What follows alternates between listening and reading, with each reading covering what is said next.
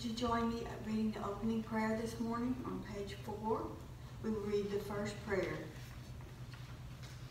Give me justice, O God, and plead my cause against a nation that is faithless, from the deceitful and the cunning. Rescue me, for you, O God, are my strength. In the name of the Father, and of the Son, and of the Holy Spirit. Grace of our Lord Jesus Christ, the love of God, and the communion of the Holy Spirit be with you all. Brothers and sisters, let us acknowledge our sins and so prepare ourselves to celebrate the sacred mysteries.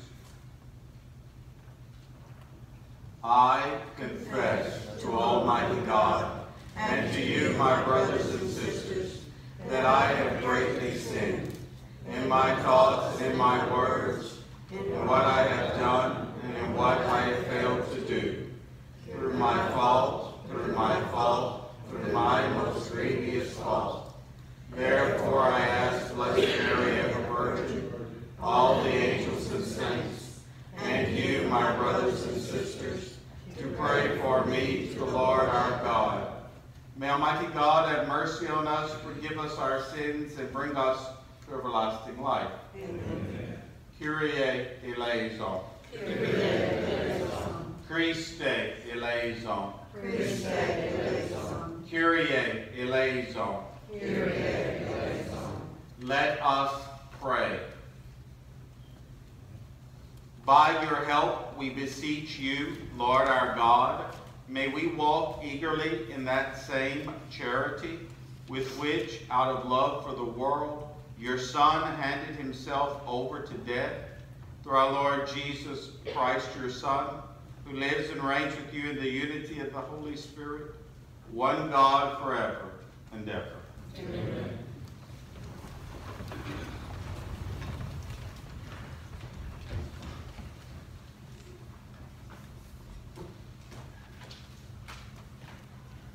A reading from the book of the prophet Isaiah. Thus says the Lord, who opens a way in the sea and a path in the mighty waters, who leads out chariots and horsemen, a powerful army, till they lie prostrate together, never to rise, snuffed out and quenched like a wick. Remember not the events of the past, the things of long ago consider not. See, I am doing something new. Now it springs forth. Do you not perceive it? In the desert I make a way, in the wasteland rivers. Wild beasts honor me, jackals and ostrich. For I put water in the desert and rivers in the wasteland. For my chosen people to drink, the people whom I formed for myself, that they might announce my praise. The word of the Lord.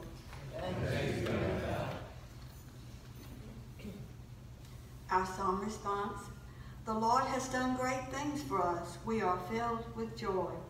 The Lord has done great things for us. We are filled with joy. When the Lord brought back the captives of Zion, we were like men dreaming. Then our mouth was filled with laughter, and our tongue with rejoicing. The Lord has done great things for us. We are filled with joy. Then they said among the nations, The Lord has done great things for them. The Lord has done great things for us. We are glad indeed.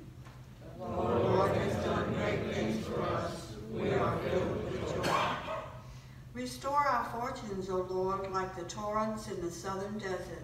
Those that sow in tears shall reap rejoicing. The Lord has done great things for us, we are filled with joy. Although they go forth weeping, carrying the seed to be sown, they shall come back rejoicing, carrying their sheaves. The Lord has done great things for us, we are filled with joy.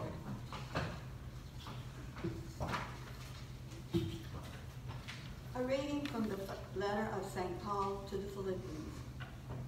Brothers and sisters, I consider everything as a loss because of the supreme good of knowing Christ Jesus, my Lord. For his sake I have accepted the loss of all things, and I consider them so much rubbish, that I may gain Christ and be found in him, not having any righteousness of my own based on the law, but that which comes from faith in Christ, the righteousness from God, depending on faith to know him and the power of his resurrection, and the sharing of his sufferings by being conformed to his death. If somehow I may attain the resurrection from the dead, it is not that I have already taken hold of it or have already attained perfect maturity, but I continue my pursuit in hope that I may possess it, since I have indeed been taken possession of by Christ Jesus. Brothers and sisters, I, for my part, do not consider myself to have taken possession just one thing, forgetting what lies be behind, but straining forward to what lies ahead. I continue my pursuit toward the goal, the prize of God's award calling in Christ Jesus. The word of the Lord. Praise to you, word of God, Lord Jesus Christ. Praise, to you, word of God, Lord Jesus even now, says the Lord, return to me with your whole heart, for I am gracious and merciful. Praise, Praise to you, Word of God, Lord Jesus Christ.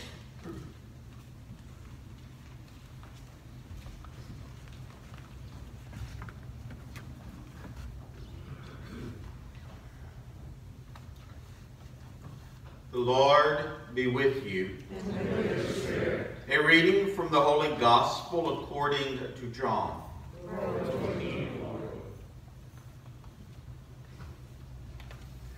Jesus went to the Mount of Olives, but early in the morning he arrived again in the temple area, and all the people started coming to him. And he sat down and taught them. Then the scribes and the Pharisees brought a woman who had been caught in adultery and made her stand in the middle. They said to him, Teacher, this woman was caught in the very act of committing adultery. Now in the law, Moses commanded us to stone such women. What do you say? They said this to test him, so that they could have some charge to bring against him. Jesus bent down and began to write on the ground with his finger. But when they continued asking him, he straightened up and said to them, Let the one among you who is without sin be the first to throw a stone at her. Again he bent down and wrote on the ground, and in response they went away one by one, beginning with the elders. So he was left alone with the woman before him. Then Jesus straightened up and said to her, Woman, where are they? Has no one condemned you? She replied, No one, sir. Then Jesus said, Neither do I condemn you. Go, and from now on do not sin anymore. The Gospel of the Lord. Praise you, Lord Jesus Christ.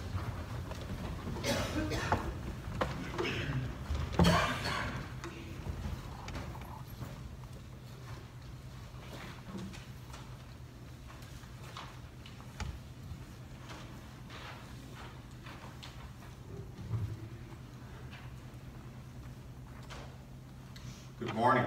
morning.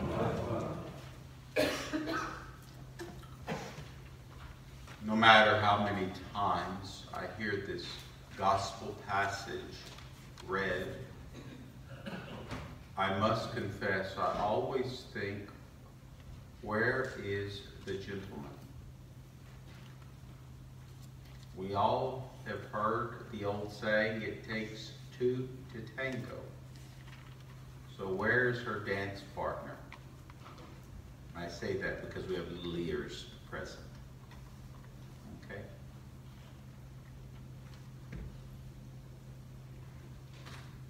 The first witnesses to this action. Either they allowed the dance partner to skedaddle and he'll always be an anonymous figure, or they fulfilled the law of Moses from Leviticus and Deuteronomy, and the dance partner was already stoned. So we have two options.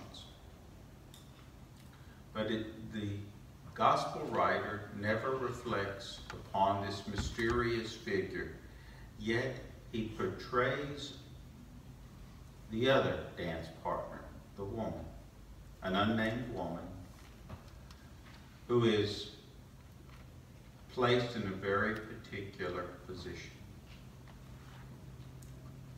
Now, in my prayer this week, I, I thought a lot about it, and I went back to an old way of praying called Lectio Divina, in which, to a certain degree, you use your imagination. You literally put yourself in the scene that you're reading about, and you think about it, and you imagine, okay, I know the scene, I, I, I know what's happening by what I've read, but in my mind, what do I see? What do I feel? What do I taste? What do I smell? What do I hear? And I allow the fullness of the scene to really draw me in and say, okay, Holy Spirit, what do you want me to learn from this moment? And as I did that, I found myself in my own prayer, and I offer this to you, for you to, to take and think about it later. But in my mind, as I was there amongst the crowd, I could see this poor uh, woman being pushed, prodded, pulled, dragged, whatever word you want to use. I think they're all appropriate. But she's brought up into the front. Now, she's guilty. She was caught in the act. So there's no way she's getting out of it. And I can, in my mind, just see her standing there, probably trembling. She knows her life is forfeit. There's nothing she can do. She can't run and escape. She's surrounded. Uh, probably the guilt and the shame are like uh, manacles that are holding her in place. She is not going anywhere. And in my prayer, I can never see her at any time in this first part of this passage ever lifting up her eyes. I'm sure her head and her eyes are cast down as low as they can. But yet at the same time, I'm sure she noticed she is led in front of some somewhat odd-looking figure who's just in front of her, kneeling, doodling on the sand. I say doodling, writing, drawing. We don't know what he wrote, Jesus. We can only speculate. But he's there on the sand in front of her. She's probably, because uh, I know I think we've all experienced it, when you have a traumatic event, you kind of go into shock she probably doesn't know exactly what's going on. She's probably, her head is clouded with thoughts, regrets. She's seeing her life pass in front of her eyes, all her loved ones. And yet, she notices the man stands in, up right in front of her. She hears him say something she's probably not going to comprehend what he's saying. It's not registering. Then he goes back and he kneels down. And eventually, what probably seemed like an eternity to her, he stands back up again and kind of shakes her out of that doldrums by asking her a question. Woman, is there anyone here to condemn you? And in my mind, I saw that's probably the first time she looked up from the moment she was brought there. And to her amazement, as she's kind of coming out of that stupor of the moment, she probably started to realize, my gosh, there's nobody here. Where did where'd they all go? And then that's when she responds, No, sir. No one's here. And I'm sure Jesus confused her even further when he said to her, Well, neither do I condemn you. Go and sin no more. And in my mind, he probably just walked off, went back to do something else. And she's alone standing there, probably totally confused, wondering, Who is this person?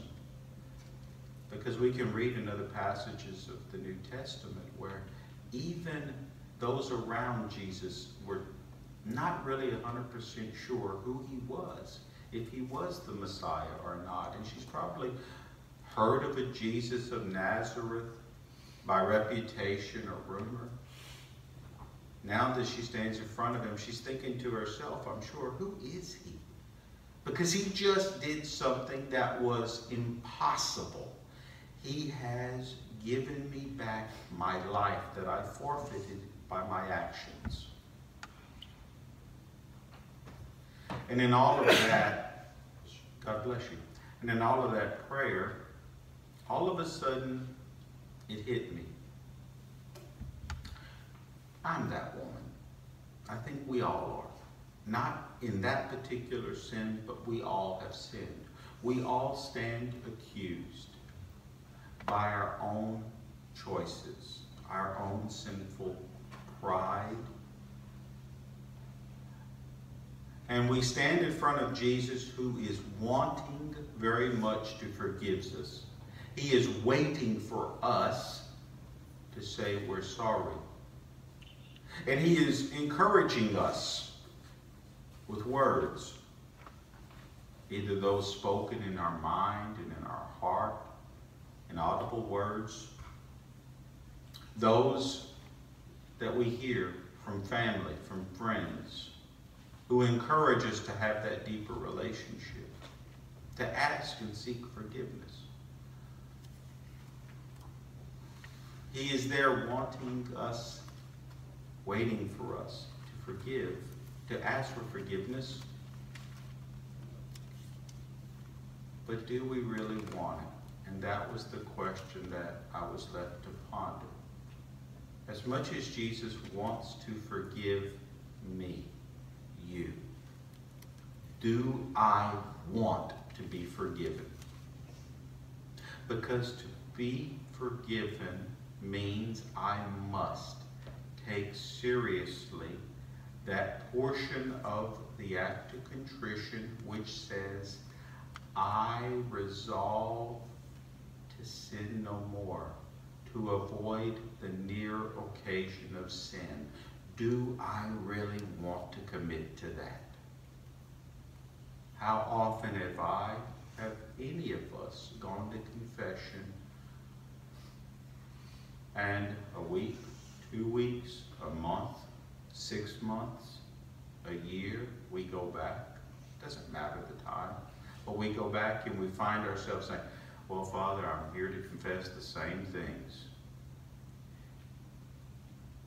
I think so often it's because we like those sinful things. We enjoy those sinful things. And the devil knows that, and he tempts us with that. I'll tell you a story. Growing up as a young boy, my grandmother, God bless her soul, uh, now deceased, she knew I loved liver and onions. Always have. But for some odd reason, she got in her mind that I liked navy beans, which I hate, I despise. Okay? Oh, God, they're terrible. But to get me to come over to eat the navy beans, she would make liver and onions. My love of liver and onions, I know I'm odd. That love was so strong I could look past the thing that I detested. And that's how it is sometimes with sin. The devil knows exactly what we love. He tempts us with that. He's not going to tempt us with something we don't like. Why? That fails. I'll never fall for the temptation to eat all the navy beans I want. Okay? Never going to happen. But on things that I love, I enjoy. Will I fall for those temptations? Yes. The devil knows that.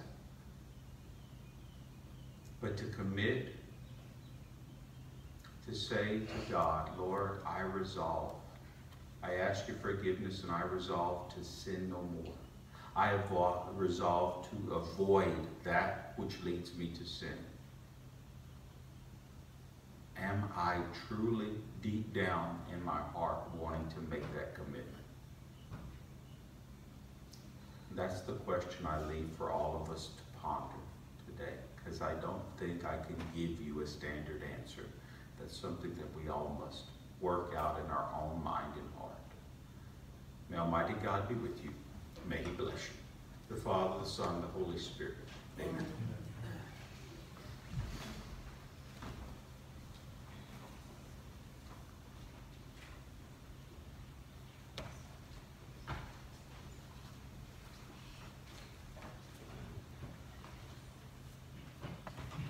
Let us stand now for our profession of faith, our creed. I believe in one God, the Father Almighty, maker of heaven and earth, of all things visible and invisible. I believe in one Lord Jesus Christ, the only begotten Son of God, born of the Father before all ages, God from God, light true God from true God begotten and not made, consubstantial with the Father. Through him all things were made. For us men and for our salvation, he came down from heaven. And by the Holy Spirit was incarnate of the Virgin Mary and became man. For our sake he was crucified under Pontius Pilate. He suffered death and was buried, and rose again on the third day in accordance with the Scriptures. He has ascended into heaven and is seated at the right hand of the Father. He will come again in glory to judge the living and the dead, and his kingdom will have no end. I believe in the Holy Spirit, the Lord, the giver of life, who proceeds from the Father and the Son, who with the Father and the Son is adored and glorified, who has spoken through the prophets. I believe in one holy Catholic and Apostolic Church. I confess one baptism for the forgiveness of sins, and I look forward to the resurrection of the dead and the life of the world to come. Amen. Coming together as one family in faith, let us offer to God our prayers and our needs. For the whole Christian people, that in this sacred time they may be more abundantly nourished for every word that comes from the mouth of God. Let us pray to the Lord. Lord, hear our prayer. For the whole world, that in lasting tranquility and peace, our days may truly become that acceptable time of grace and salvation. Let us pray to the Lord. Lord, hear our prayer. For sinners and neglectful that in this time of reconciliation they might return to Christ. Let us pray to the Lord. Lord, hear our prayer. For ourselves, that God may at last stir up in our hearts aversion for our sins. Let us pray to the Lord. Lord, hear our prayer. For all those in our community, both here, present, and those watching on video, who are suffering whether from physical, emotional, or mental illnesses, that they may be comforted by the resurrected Christ. Let us pray to the Lord. Lord, hear our prayer. For all the prayers that we hold in the silence of our hearts. For all our intentions, spoken and unspoken, going through the intercession of St. Thomas the Apostle. Let us pray to the Lord. Lord, hear our prayer.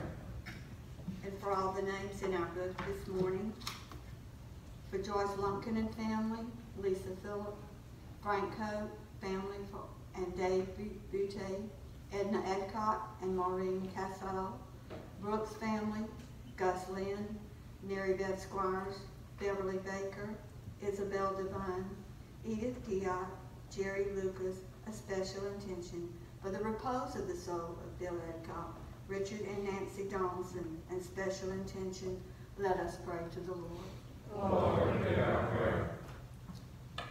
And for Claire Andrews, for whom this Mass is being offered this morning, we pray to the Lord. Offering all our prayers to the Father, let us conclude with a prayer of praise and honor of the Blessed Trinity. Glory be to the Father, and to the Son, and to the Holy Spirit, as it was in the beginning, is now, and ever shall be, world without end. Amen.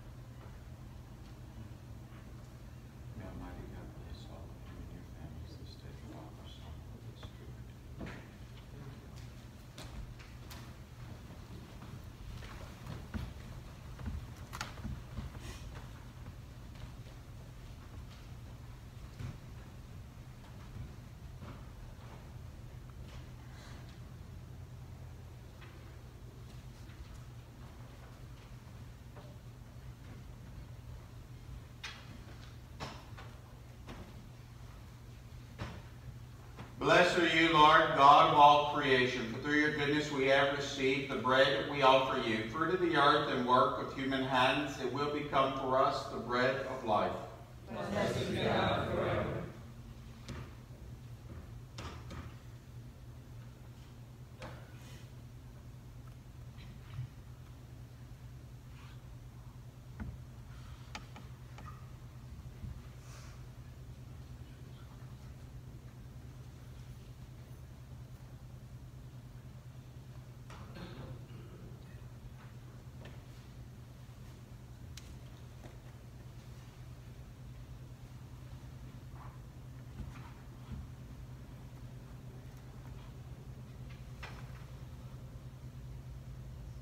are you, Lord, God of all creation, for through your goodness we have received the wine we offer you. Fruit of the vine and work of human hands, will become our spiritual drink.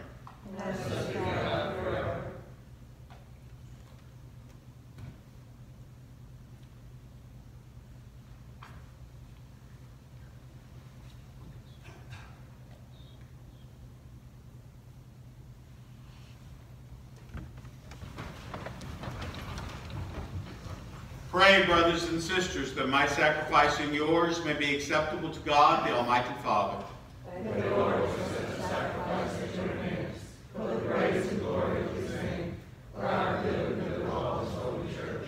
Hear us, Almighty God, and having instilled in your servants the teachings of the Christian faith, graciously purify them by the working of this sacrifice through Christ our Lord. The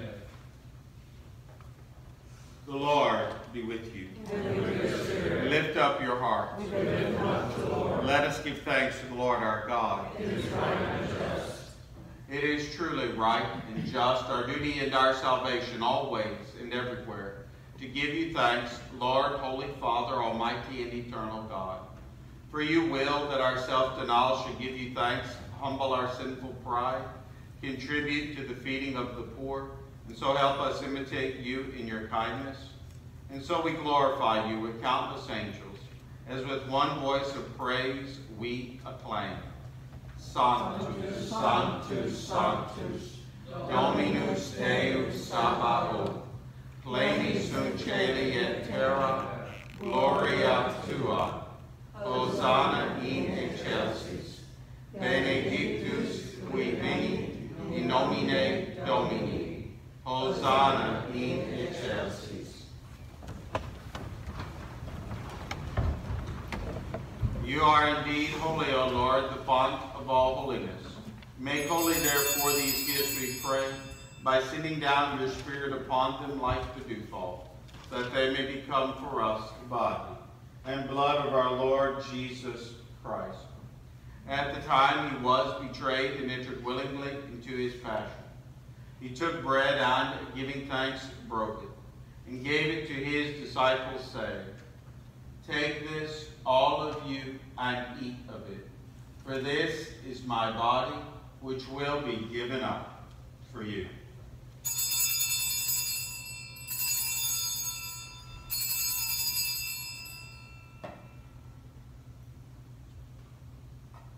In a similar way, when supper was ended, he took the chalice. And once more giving thanks, he gave it to his disciples, saying, Take this, all of you, and drink from it. For this is the chalice of my blood, the blood of the new and eternal covenant, which will be poured out for you and for many for the forgiveness of sins. Do this in memory of me.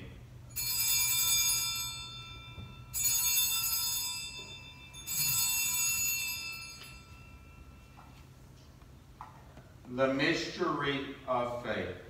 We proclaim your death, O Lord, and profess your resurrection until you come again.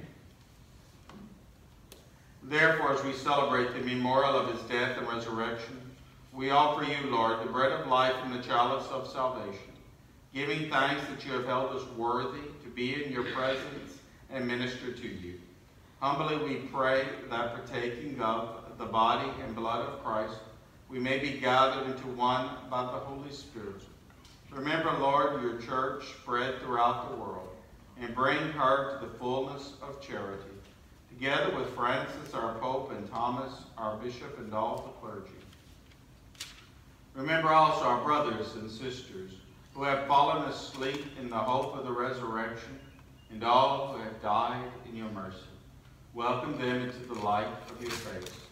Have mercy on us all, we pray, that with the Blessed Virgin Mary, Mother of God, with blessed Joseph, her spouse, with the blessed apostles, and all the saints who have pleased you throughout the ages, we may merit to be co-heirs to eternal life, and may praise and glorify you through your Son, Jesus Christ. Through him, and with him, and in him, O God, Almighty Father, in the unity of the Holy Spirit, all glory and honor is yours forever and ever. Amen.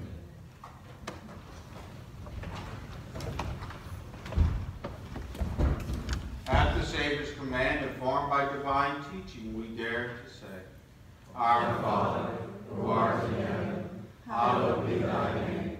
Thy kingdom come, thy will be done, on earth as it is in heaven. Give us this day our daily bread, and forgive us our trespasses, as we forgive those who trespass against us. And lead us not into temptation, but deliver us from evil. Deliver us, Lord, we pray, from every evil.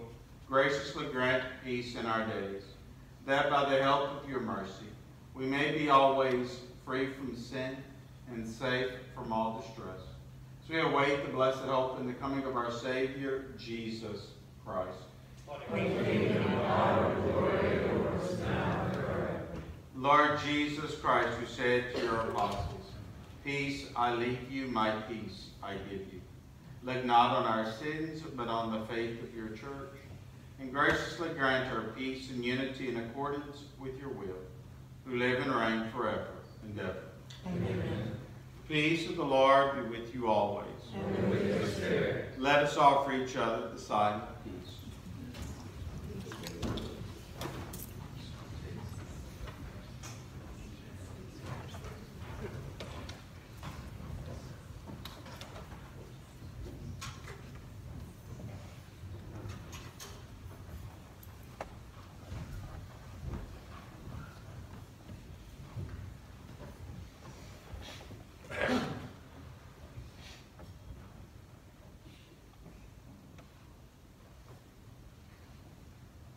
of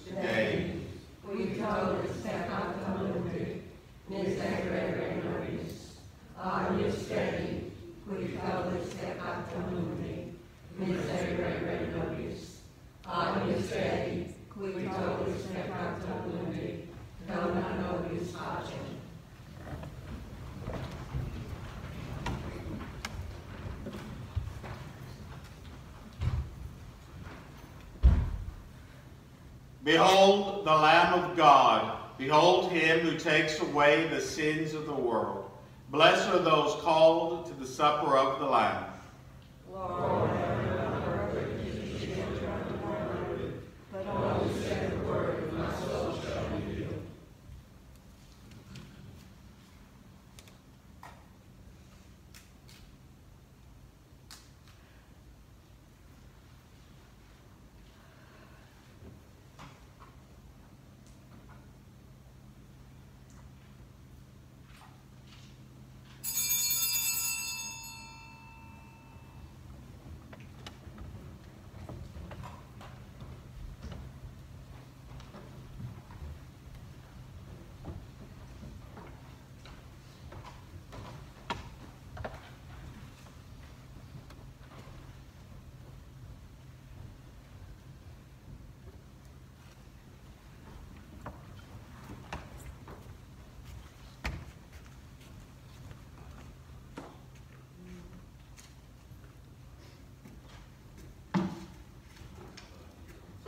Please join me in reading the communion chant on page 36.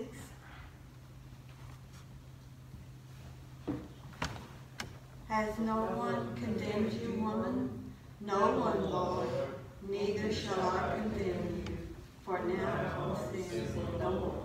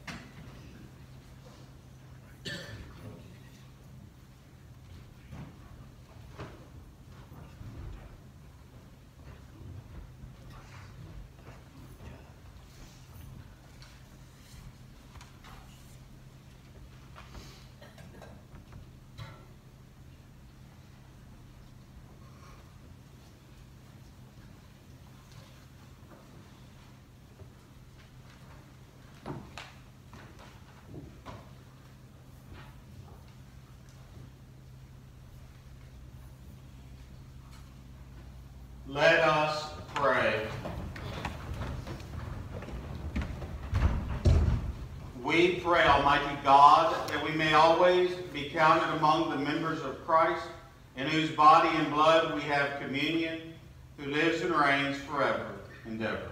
Amen. Dominus vobiscum, Et cum spiritu tuo. benedicat vos omnipotens Deus, Pater, et Filius et Spiritus Sanctus. Amen.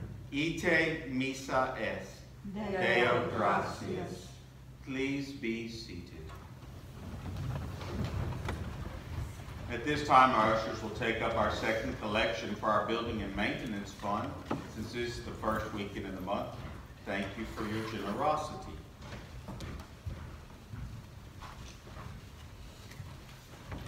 And as they take up that collection, just a reminder, this week on Tuesday, we have the television mass that we film for the Archdiocese. Wednesday, we have Parish Council. Friday, we have the Kraken uh, food truck for our Lenten meal.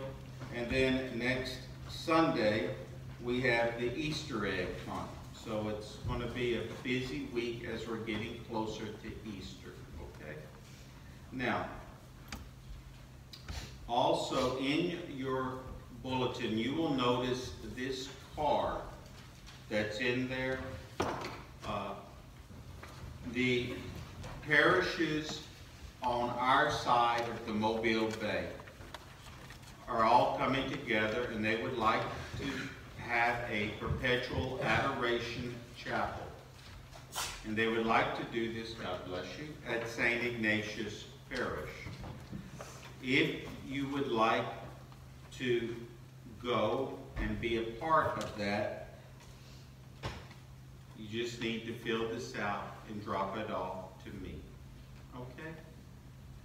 All right. I think that should cover it. Y'all have a very blessed day today. You too, Father. Thank you.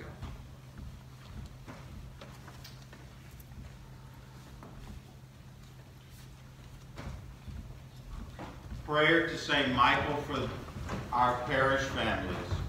Holy Michael the Archangel, defend us in battle. Be our protection against the wickedness and snares of the devil. May God rebuke him, we humbly pray. And to you, O Prince of the heavenly hosts, by the divine power, thrust into hell Satan and all the other evil spirits who wander through the world seeking the ruin of. Divine praises protection against storms, hurricanes, and other disasters. Blessed be God. Blessed be his holy name. Blessed be Jesus Christ, your God, your man. Blessed be the name of Jesus. Blessed be his most sacred heart. Blessed be